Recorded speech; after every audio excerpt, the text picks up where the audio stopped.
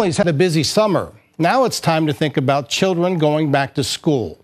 Warren will have 4,600 students return to class Monday across the district. Today, many of them got together in Courthouse Square.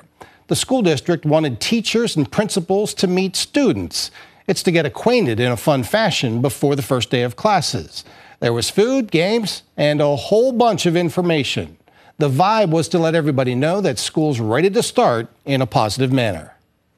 If a parent has a question or students have a question, some of the anticipation of going to school can be reduced. And I think this provides us the opportunity to break down some of those barriers and engage with our school community. Warren City Schools have five schools. Teachers return starting tomorrow.